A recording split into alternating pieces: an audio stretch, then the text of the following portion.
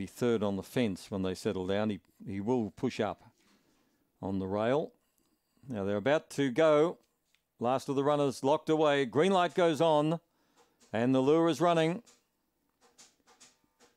They're off. Yastreb bounced out beautifully. Pearl Cape showing more speed on the outside. Pearl Cape leads from Yastreb. Kind Girl is in the bunch and also Stalking Storm. A gap in the field then to Run Rosie starting the finish on. A long way back then to Victor Jack, Alan Jono and tailed off Stalking Storm on the home turn. Pearl Cape is going great guns. Pearl Cape in front of Yastreb. Pearl Cape half a length to Yastreb. In third place, Stalking Storm. They're followed in that bunch by Run Rosie and Kind Girl out wider.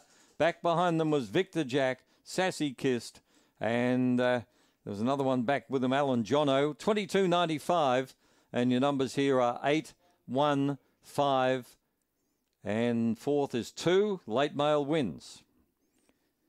8 Pearl Cape the winner. White and Black Bitch by Cape Hawk from Sing and Laricki. Raced by a couple of the, the happy blokes in the Greyhound game. Uh, Don Higgin and uh, Bob Harris, trained by Bob, and whelped in January 15. They really love this bitch. Pearl Cape the winner. Second to one, Yastreb. Well, he lobbed where we thought he would. He's only gone under by half a length.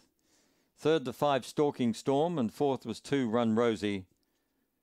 And Kind Girl, the other one we thought had a chance, it was with them as well. Three quarters by